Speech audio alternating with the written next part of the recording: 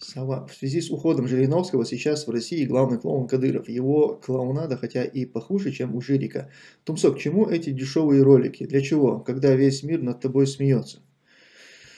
Ну, не знаю, может быть, он считает это... Избивать приехавшего на отдых в Турцию человека только из-за того, что он работал в органах, не имея даже доказательства его вины, такое даже заключенные не делают. Это разве красит ичкерийцев? И если ты скажешь, что быть готовым жить бедно, но свободно это неправильно, то я скажу, что ты раб.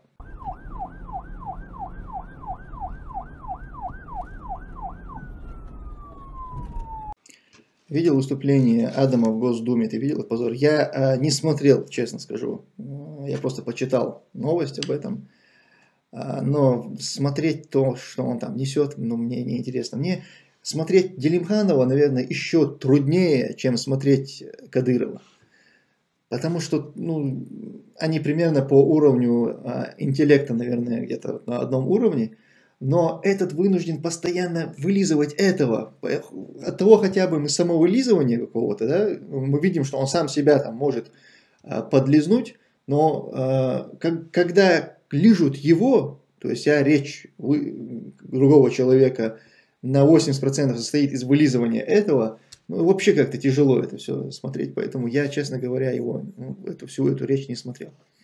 Ты заметил, в последнее время Кадыров не очень хорошо выглядит, по, по, на лице видно, что он чует, что его конец очень близок. Ну, я не знаю насчет того, что он там чует или нет, но выглядит он реально очень нехорошо.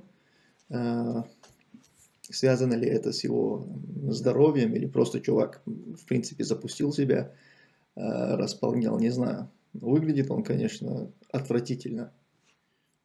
Сова. В связи с уходом Жириновского сейчас в России главный клоун Кадыров. Его клоунада, хотя и похуже, чем у Жирика. Тумсо, к чему эти дешевые ролики? Для чего? Когда весь мир над тобой смеется. Ну, не знаю, может быть, он считает это чем-то гениальным. Ему, наверное, нравится. Я вообще думаю, что у них немножко по-другому это все оценивается. Они, они помните знаменит, знаменитую вот эту вечеринку, устроенную в день чеченского языка, что ли, или, или чеченской матери. В какой-то день он пришел э, в кольчуге, такой наряженный с какими-то доспехами, помните? И когда это ну, стало подниматься на смех во всем этом мире, а я помню, как его приспешники стали выкладывать, значит, типа коллажи такие делать, каких-то, значит, европейских там лидеров в их нарядах, допустим, где они там где-то появлялись, может, в каких-то нарядах, и, и типа вот Кадыров, типа, посмотрите. И вот, и они, наверное, реально с этого, ну, они думали, наверное, что это очень круто, они что-то там противопоставляют. Но проблема в том, что ну, даже если где-то какой-нибудь европейский лидер что-то себе подобное позволил, это ничуть не, не меньше смешно, чем то, что сделал Кадыров.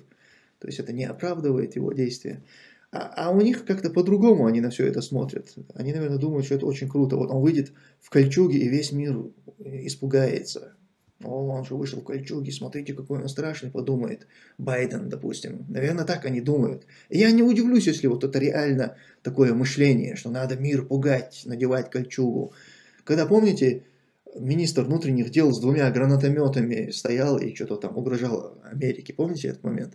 Но он же действительно думает, наверное, что это страшно, что в Пентагоне посмотрят этот, это видео и все, там все просто уйдут в месячные отпуска, им нужно будет где-то э, лечиться от, э, от психического расстройства.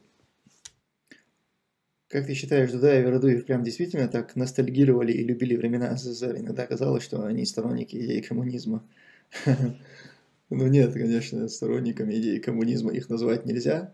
Но при этом это люди, которые родились и выросли в этом режиме, и, и многие как бы, моменты их, возможно даже, их ностальгирование по этой теме, оно в принципе понятно. Я вообще много встречал э, взрослых людей, которые прям по, по некоторым вопросам Советского Союза прям ностальгируют. Есть такое. Но это, это как, знаете, там, где ты родился, вырос, у тебя бывает какие-то вот эти отсылки. Избивать приехавшего на отдых в Турцию человека только из-за того, что он работал в органах, не имея даже доказательства его вины, такое даже заключенные не делают. Это разве красит ичкерийцев? Я думаю, не, не, у меня ты должен спрашивать. Если я бы участвовал в избиении кого бы то ни было, ты бы меня спросил. А так надо спросить у того, у тех, наверное, кто, у тех негодяев, кто это сделал, надо спросить, за что они побили человека. Может, может причина какая-то там была, может на него есть конкретный кейс, что этот человек, значит, э, издевался над кем-то. В общем, не знаю, это не, не ко мне этот вопрос. Я, как вы знаете, против насилия, вообще никогда никого не избивал. Ну, одного чувака с молотком, правда, пришлось немного отмудохать, но это, это была чисто идеальная самозащита. Выбора просто меня не оставили. А так я вообще противник всякого насилия. Вы бы возрожденные Ичкерии хотели бы тот э, старый флаг в качестве символики или уже новый измененный? Ну, во-первых, у нас флаг не изменен, у нас э, государственная символика, она утверждена, и если мы ее захотим изменить, то мы должны это делать в соответствии с э, законом. Мы не можем просто так каждый взял и что-то там дорисовал.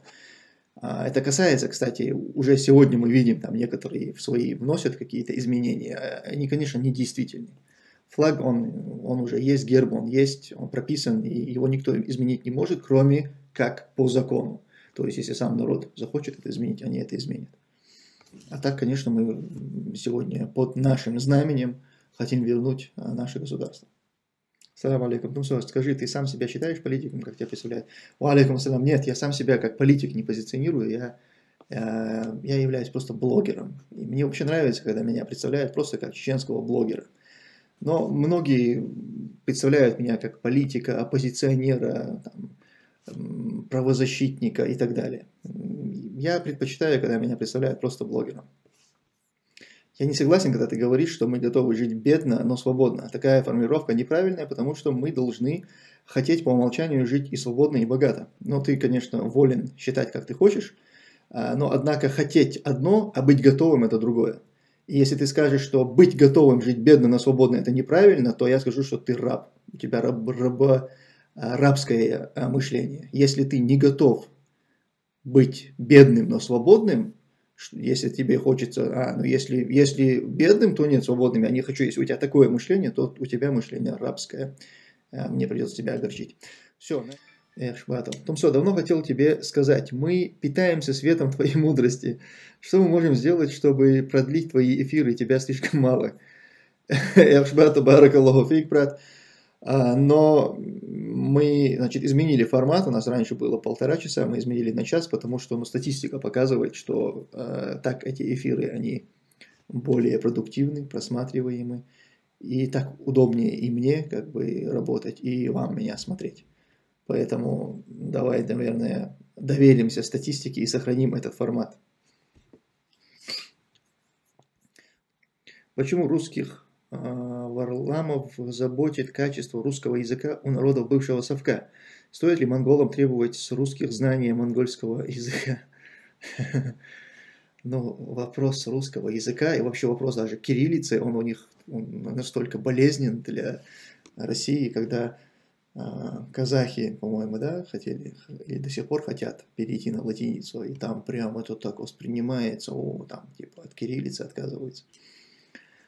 Ну, сидит это все равно во многих россиянах, это, это, это великорусская идея, этот шовинизм, он сидит в них. Что ты думаешь про диктатора Эмамали Рахмона, президента Таджикистана, как он воюет против ислама?